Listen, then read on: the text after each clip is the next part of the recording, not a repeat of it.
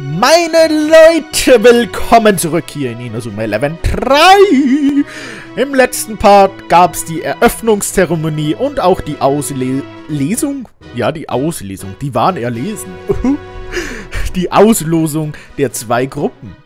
Wir kennen unsere Gegner und nun wurden wir von dem englischen Team, unserem ersten Gegner, in ihr Haus eingeladen zu so einer Art Feier. Ha, das schaut wieder schön aus hier, ne? ja, ja, ja. Dann sehen wir uns hier mal um. Oh, so schön. ich bin ja doch ein gewisser Fan von so altmodischen, mittelalterhaftigen Städten, äh, Aussehen, eine, eins mit Natur, obwohl hier eigentlich ist es eine Stadt und nicht mit Natur verbunden, aber auch was die Stadt betrifft. das ist also der englische Bereich. Wahnsinn. Es ist schön hier, so ruhig und entspannend. Und Pferde. Hey Mark, lauf nicht gleich davon. Warum äh, hilfst du einer von uns nicht ein bisschen? Was? Ich meine Silvia oder Cammy oder mir. Wir brauchen bestimmt Hilfe bei der Vorbereitung für die Feier. Äh, in Ordnung. Was soll das? Mark, wir brauchen Hilfe bei der Vorbereitung für die Feier.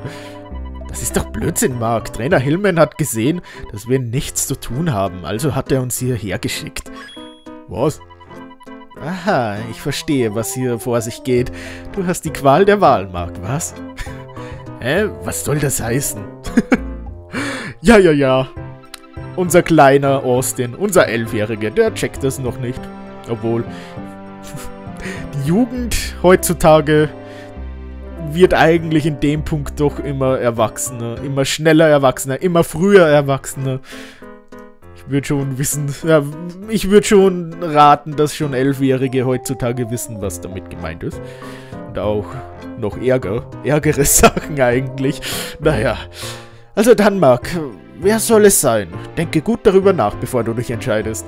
Nee, nicht schon wieder. Immer diese Entscheidung. Aber ich finde es einfach nur grenzgenial, dass man sich da entscheiden kann. Ne? Das erfrischt das Gameplay, so gesehen. So. Äh, erst einmal möchte ich blocken, wie er sich wieder drückt. Äh, ich habe ja irgendwas verpasst. Hey, danke. Hey, Leute. Frost. Hey, Leute, danke für die Blumen. Ich werde bald wieder auf Beinen sein. Das hoffe ich. Oh. Nun, das Wohnheim sieht interessant aus. Ich kann es kaum mehr erwarten, mir alles anzusehen. Aber jetzt ist es nicht die Zeit, Leute. Ihr müsst trainieren. Austin, ich werde dich übertreffen. Das gilt auch für dich, Axel. Oh. Wen wird er auswählen? Mark wird einen von uns auf einen Rundgang durch den englischen Bereich mitnehmen. Wen er wohl wählen wird? Warum bin ich so nervös? Och nee, jetzt muss ich wieder auswählen. das gibt's doch nicht. So, Silia. Willst du wieder die Lösung sein? Weil die sind ja verknallt, Silia eigentlich nicht. Und ich habe ja Silia ausgewählt im zweiten Teil, weil das ja eigentlich, habe ich mich ja gedrückt, ein bisschen schamlos war ich ja, ne? Ich habe mich einfach nicht entschieden. Aber ich wollte halt kein, keine traurig machen. So, aber... Aber... Aber da ist Kramer. Und dann auch noch Austin. Und dann auch noch Darwin. Ah, die sind da. Aber ich bin ein Mann. Ich muss jetzt mich für eine Liebe entscheiden hier so gesehen. Und wo ist Nelly? Kann ich nicht weggehen? äh, Mark, lauf nicht alleine los. Ah, da. Gabi. Man kennt ja noch nicht sehr viel von ihr. Aber im Anime zum Beispiel die berüchtigte Folge, die berüchtigte Folge, was, 78? Ich glaube schon. die war so dusselig am Anfang und so, ah, ah, ich weiß nicht. Die beiden sind eine der ruhigen Sorte und das mag ich eigentlich, ne? ah, schwierig. Aber irgendwie Silvia tut mir immer irgendwie so leid. Obwohl sie total nett ist. Ich will dich aus. Ich? Wirklich? Bist du dir das sicher, Mark? Ja. Oh, das ist toll, danke. Mann. ich glaube, der Laden ist in dem Gebiet, das sich nördlich von hier befindet. Lass uns doch mal nachsehen. Wäre Nelly hier gewesen, dann hätte ich Nelly ausgewählt, würde ich sagen. Aber an zweiter Stelle ist hier dann doch Sylvia. Hallo, willkommen im englischen Bereich der Heimat zeitloser Eleganz und Tradition. Seht euch unseren wunderschönen Brunnen an oder geht ihr euch in Richtung... Fühlt euch wie zu Hause. Ach ja. Aber die anderen stehen hier, wollte ich gerade sagen. Hey Mark, was denkst du über die Rivalität zwischen Kevin und Austin?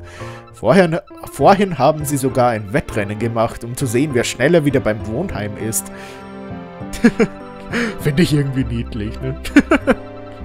Ach ja, sehr nice. Und ich ich finde das richtig nice hier. Im zweiten Teil und jetzt auch, dass man hier das übernommen hat. Dass man sich ein Mädel auswählen kann oder halt unsere Teamkollegen und dann wahrscheinlich wird der Text auch anders, wen man dann auswählt. Das finde ich sehr nice. Jungs können sich glücklich schätzen, dass sie so eine Art von freundschaftlicher Rivalität haben. Dass sie so eine haben können, äh, meine ich die können sie dann einfach beiseite legen und wie gegen Korea als Team auftreten. Das nächste Spiel gewinnt ihr auch, oder? Natürlich, ich kann es kaum mehr erwarten herauszufinden, was für Gegner die Queens Kings, nicht Kings, Knights sind. Queens Knights. Queens Knights. Oh, ihr wisst gar nicht, wie hervorragend und toll die Queens Knights sind. Oh, ihr armen Dinger. Ich muss euch gar nicht mal ins Gesicht sehen. Sie spielen den Wunder vollsten Fußball auf der ganzen weiten Welt. In der Qualifikation haben sie den Ball nicht ein einziges Mal verloren. Und Edgar, der Kapitän, ist einfach großartig. Ganz abgesehen davon sieht er blendend aus. Alle großen Vereine der Welt wollen ihn. Oh ja, er ist der Ritter meiner Träume. Wenn er schießt, werden meine Knie weich. Oh, Edgar! Edgar! Oh, warum bist du so? Warum bist du Edgar? Oh, äh, Verzeihung. Hallo? Äh, kein, keine Chance. Sie ist in ihrer eigenen Welt. Ja, das hat man auch gehört. Aber wenn sie recht hat, dann sind die Queen's Knights wohl ein recht starkes Team. Ihr werdet sie dennoch schlagen, oder? Natürlich! Was ist das für eine Frage? Ein Pferd! Hallo! Diese Pferde hat man... Dieses Pferd hat man Respekt. Wer meinen Blick standhalten kann, ist in Ordnung. ja, ja, ja. Das scheint ja hier in Europa ja, wenn das typisch englisch ist, und wir in Österreich, zumindest jetzt hier in Salzburg, auch so etwas haben mit Pferdekutschen. Das scheint ja hier in Europa ja Tradition zu sein. Ist das bei euch auch? Würde mich auch interessieren in Deutschland da oben, irgendwo. Oder in der Schweiz. Oder Liechtenstein. Oder keine Ahnung, Schweden. Wo kann man noch erahnen, dass man äh, Deutsch spricht? Dänemark? Äh, Südtirol? Oder was auch immer. Oh, seht euch mal dieses weiße Pferd an. Es ist wunderschön. Ja, ja, ja. Seht euch mal, äh, stellt euch mal vor, wie Edgar auf diesem Pferd reitet. Er würde wie ein Ritter aus längst vergangenen Zeiten aussehen. Oh. Okay. Oh, Edgar! Oh, mein Edgar! Oh, oh, oh. Wir sind füreinander bestimmt. Wenn wir uns doch nur treffen könnten, dann würdest du es einsehen. Edgar! Oh, oh. Da wird jemand zum Pferd. Da ist eh eine Kutsche. Bindet sie an. oh Gott. So, schickes Armband. Äh, Marc, wo gehst du hin? Oh, sorry. Schau nicht so rein. Mal, Silvia, wenn ich jetzt an Go denke, dann tut sie mir irgendwie leid. Aber hoffentlich hat sie in ihrem Heim, ne,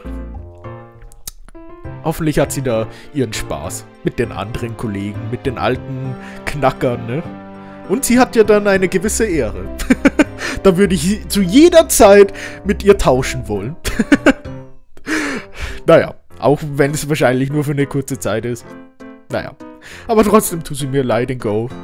Ah, Die Queen's Knights sind eine Gruppe gelandter, gelandter junger Männer, die alles geben, um die Ehre ihres Landes zu verteidigen.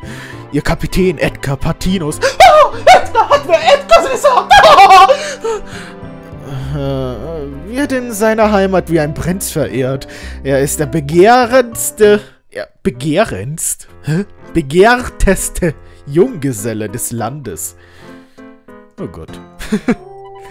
Wenn doch bloß der Rest von der Whale Academy hier wären, um diesen Ort zu sehen. Er ist umstau umstaunlich. Umstaunlich sogar. Hm, es, gibt, es geht da nach oben. Okay. Ach, Fußball in England unglaublich beliebt ist. ich hab ist vergessen. Die Queen's Knights sind eines der meistgefeiertsten Teams in europäischen Fußball. Wie mit noch keinem einzigen Wort Deutschland erwähnt wurde oder sowas, ne? Power Riegel. Obwohl, es ist ja Jugendmannschaft, kann man sagen, ne? Schauen wir einfach mal da in den Kapselautomat, ne? Äh, es geht hier ja um Jugendmannschaften und jetzt nicht die Profimannschaften, ne? Äh. Äh. Äh. äh. Aber da sieht man wieder, weil ich glaube, es gibt hier Spieler. Nur weiß ich jetzt nicht, wo, Flughafen. Es gibt irgendwo Spieler, die brauchen da japanischer Bereich sind die Spastiaten. Shuriken vielleicht? Nee. Habe ich das gerade nicht angeklotzt? Habe ich nicht Farm? Was? Japanischer Bereich. Irgendwo stehen auch andere Bereiche hier. Und das sieht man. Ich habe die ja schon eigentlich encountered, diese Spieler, aber ich kann sie ja jetzt nicht anwerben. Das hat man jetzt den Be Beweis, dass ich jetzt schon nicht anmelden, anmelden, nicht abwerben kann hier, ne? Obwohl ich es eigentlich schon könnte. Was ziemlich beschissen ist. So. Irgendwas wollte ich ansprechen. Wieder voll vergessen. Na, Axel. Offenbar wurde die Eröffnungszeremonie auf dem Fernseher in der Klinik in Tokio gezeigt. Julia hat gesagt, dass Vater die Übertragung komplett geguckt hat, ohne dabei ein Wort zu sagen, natürlich. Das ist einfach seine Art. Ach ja, mich freut's, dass wieder mit deinem Daddy alles okay ist. Na, alles nicht, aber ihr wisst, was ich meine, ne?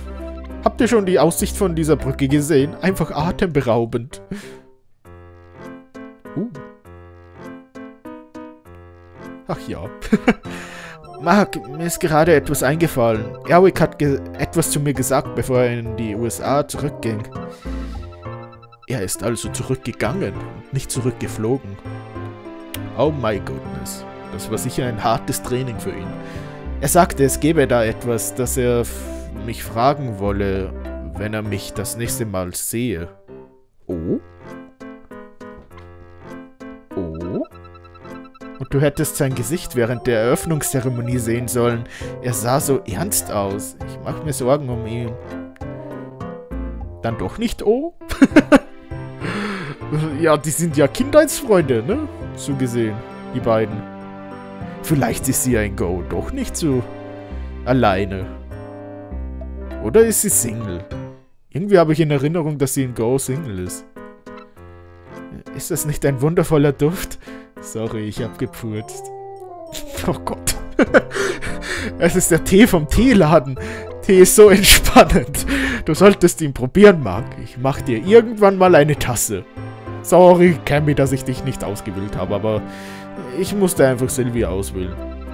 Fußball in England ist... Jetzt habe ich schon wieder dieses Ist verschluckt. Warum denn? Hallo? Hast du immer noch nicht genug von diesem Kaff? All diese dämlichen... Was? Piekfeinen Gebäuden gehen mir gehörig auf den Wecker. Ich habe schon Piefke gelesen. das ist so gesehen... Äh, ja, es ist eigentlich ein negativer Begriff, die Österreicher für Deutsche verwenden. So ein Piefke. Ja, eventuell kann man das mit Ösis vergleichen, obwohl ich das Ösis jetzt nicht wirklich als negativ empfinde. Naja. Aber das habe ich irgendwie jetzt gelesen. Was redest du hier von Piefke?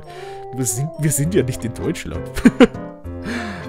Edgar Patinos. Edgar, oh mein Schatzi! Äh, der Kapitän der Queen's Knights ist ein echter englischer Gentleman. Weißt du, wer hier gerade so herumgeschrien hat? Er ist ein bemerkenswerter junger Spieler. Viele Profimannschaften sind bereits auf ihn aufmerksam geworden. Ach ja, das beginnt ja auch schon so früh, ne? Mit den Anwerben und mit den Holen der Jugend. Hey, da ist noch was. Versteck dich hier nicht so. Also wirklich. Ich möchte dich ja nur aufreißen und dein Inneres klauen. Für jedes Team, das sich für die Football Frontier International qualifiziert hat, wurde ein spezieller Bereich gebaut. In manchen Bereichen wurde aber an allen Ecken und Enden gespart. Dieser hier ist ja immer noch die reinste Baustelle sich gar nicht zufrieden, dieser Kauz hier. Marc, wo gehst du hin? Sorry. Und dann gehen wir da mal rein. Oder wo müssen wir jetzt eigentlich lang? Zu dir? Ich weiß jetzt nicht. Geh zum Kleiderladen. Das ist aber der G-Markt. Hallo. Der G-Markt. Die rechte Seite verleiht dir mehr Kraft, aber es ist auch wahrscheinlicher, dass du ein Foul begehst oder den Ball verlierst. Ja, natürlich die Option. Okay. Hallo, ich bin Ferdinand Fuddy und möchte heute hier auf Liokot der englischen Küche einmal eine Chance geben. Ein Nachmittagstee mit Scones, was auch immer das ist. Und Gurkenbrötchen ist normal nicht mein Ding, aber man sollte ja alles mal probieren. Das Gebäck ist sowas von staubig, ey. Es, es schmeckt. Es schmeckt sich. Ja, es schmeckt, aber es steckt in meinem Hals fest. Okay, der geht gerade drauf, wie es aussieht. Tut so jemand, der gerade drauf geht. Bist du sicher, dass du alle Items gekauft hast, die du brauchst? Denk daran, dass du pro Spiel... Ja, warum noch so Tutorial-Zeugs? Schaut euch mal dieses gerahmte Bild von Edgar Martinez an. Woher kam dieses Mädel? Äh, er ist so galant und ritterlich und unfassbar gut aussehend. Warum müssen die alle von mir reden? Das ist unglaublich. Oh, wow, schaut euch mal die ganzen Sachen hier im Laden an. Bei der Hälfte weiß ich nicht mal, worum es eigentlich dabei handelt. Dann lern Englisch. so einfach ist es. Herzlich willkommen. Äh, Nudeln. Hühnchengeschmack, okay. Epsilon-Ticket. Extra-Ticket, okay. Auch schön zu sehen hier. Aber, ähm, ja. ja. Hier wurde ja noch nicht differenziert mit den Tränken und sowas, ne? Nicht so wie zum Beispiel in Go 2. Da war ja das fantastisch. Jeder Ort hat seinen eigenen Trank bekommen. Das war sowas von genial. Muss ich zu euch? Guten Tag. Ah, Sie müssen die werten Abgesandten von Inazuma Japan sein, wenn ich mich nicht irre. Dies ist für Sie zurückgelegte Abendgarderobe. Ich verschluck schon wieder Wörter. Äh, ich hoffe, alles ist zu Ihrer vollsten Zufriedenheit. Sieh dir dieses Kleid an, Mark. Es ist so schön. Glaubst du, dass es mir stehen wird? Nö. okay, ich möchte... Normalerweise würde ich nö sagen. Einfach weil nein ist die Allzwecks-Antwort schlechthin. Und bla. Aber es geht hier um Silvia. Da, da, ich kann ihr nichts Böses antun. wirklich, schaut euch sie mal an. Ich werde ganz rot. Uh, sieh mal, da ist etwas am Rockaufschlag befestigt. Ja? Alte Anstecknadel. Ach ja. Bitte akzeptieren Sie es als kleines Zeichen der Wertschätzung eines Gentlemans für den Charme einer schönen Dame, meine Liebe. Na, vielen Dank. Ich freue mich schon so auf die Feier. Du nicht auch, Marc? Hat aber was, ne? Wenn das jetzt keine Falle ist, ne? Sieht so aus, als hätten wir alles Nötige für diese Feier. Das hat gar nicht so lange gedauert, wie ich gedacht hätte. Ja, wir haben immer noch viel Zeit. Hast du Lust, noch ein bisschen mit mir herumzulaufen?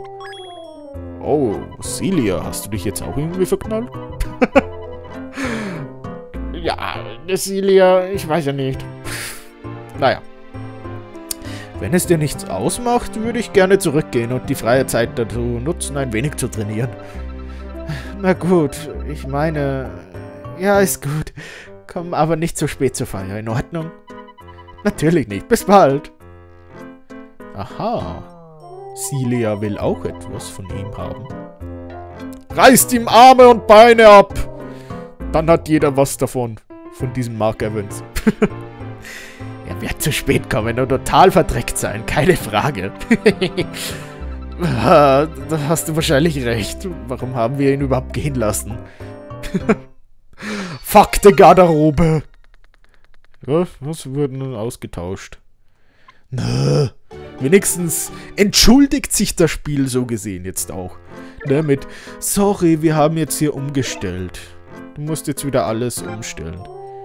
Äh, ist hier wieder alles? Ja.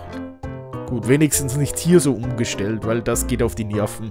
Weil so kann man das ja nicht umstellen, sondern man muss zum alten, zum alten Herrn Veteran gehen, ne?